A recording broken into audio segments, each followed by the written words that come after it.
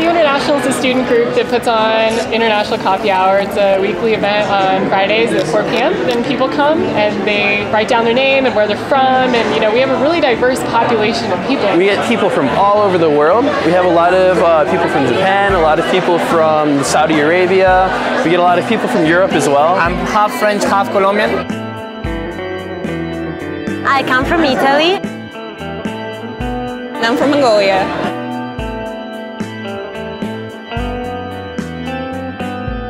This is not real coffee because I'm Italian. You can't call this coffee for me. but it's really good for conversation for sure. It's kind of it's a jolt of energy. You know? I studied abroad once, and I know that as an international student, it can be really lonely and scary sometimes being in a different country where you don't understand the culture.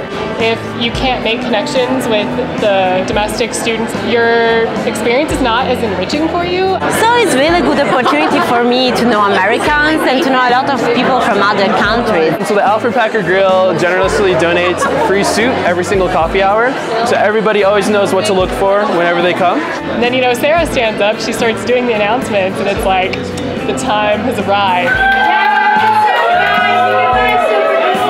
I was part of the group that always yelled soup. I never won the soup. They get all nervous and excited and they stare at their tickets just waiting for their three numbers to be called. And when they do, they just jump up in excitement and it's as if they've just made their entire week. It's magical. Sometimes they scream in dismay. It keeps them coming. The soup thing became like a, one of the banners of the coffee hour.